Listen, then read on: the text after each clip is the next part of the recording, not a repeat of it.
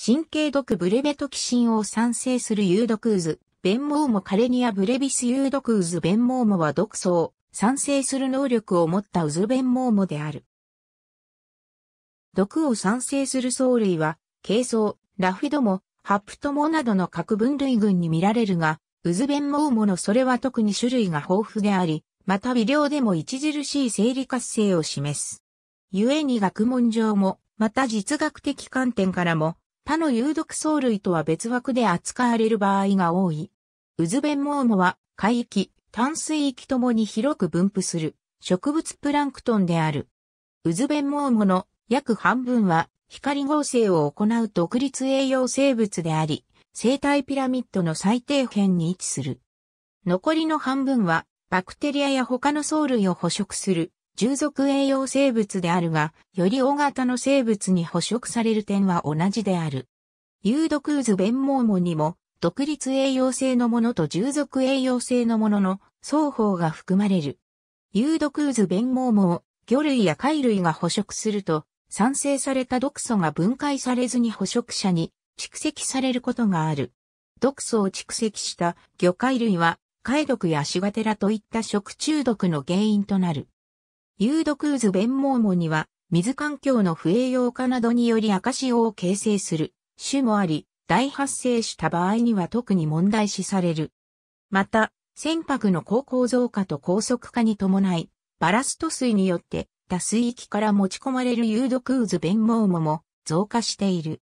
そのため、従来解毒が発生していなかった水域で、食中毒が発生するなどの被害が報告されている。有毒渦弁毛藻は産生する毒の種類やその作用対象によって大きく以下の4つのグループに分けられる。魚介類に直接作用するモノマヒ性解毒下痢性、解毒神経性、解毒、シガテラ毒1のグループに該当するのは、フィエステリアなど一部の渦弁毛藻である。2から4はこれらを持つ渦弁毛毛を直接摂取した生物には無害であるが、食物連鎖による生物濃縮を介して人などの工事の捕食者に毒性を示す。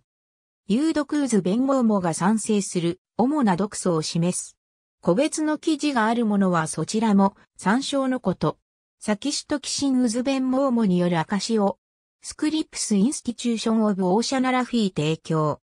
赤潮のような有毒渦鞭毛藻の大量発生時には、種の早期識別が要求されるとともに、魚介類への餌止め、可能であれば、赤潮からの避難が行われる。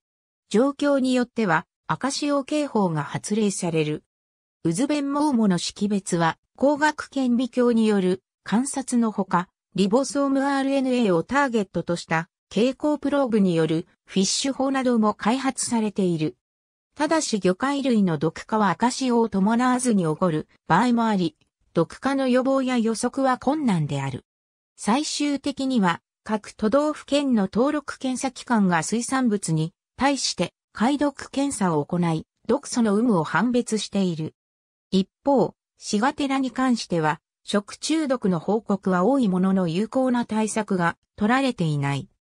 理由としては、原因となる渦弁毛母が固着性であり、発生の状況を把握しづらいこと、毒の定量が難しいこと、加えて発生海域の多くが開発途上国の領海であり、監視体制が整っていないことなどが挙げられる。ありがとうございます。